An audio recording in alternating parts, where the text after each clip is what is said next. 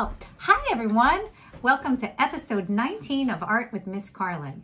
Today we are drawing and painting on foil. So you can come up with whatever you want.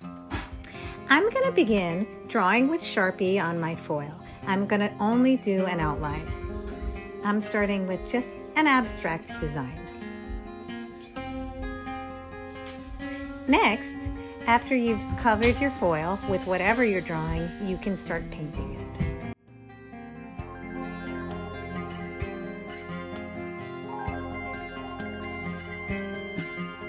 Well, I'll be damned.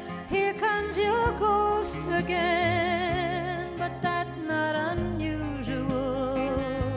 It's just that the moon is full and you happen to call.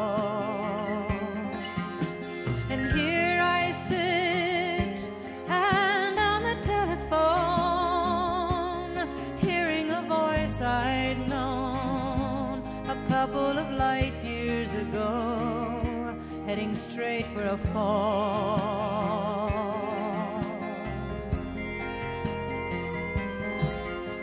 As I remember, your eyes were bluer Thanks for watching. Send us photos of your artwork.